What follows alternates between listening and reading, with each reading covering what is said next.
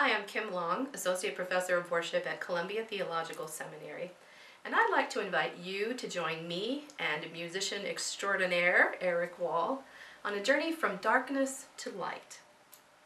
Worshipping in Advent means confronting the world's great need, even while we are leaning into the coming kingdom of God. In our webinar on Advent worship, we will look at the lectionary texts for each Sunday and consider the arc or the movement of the season.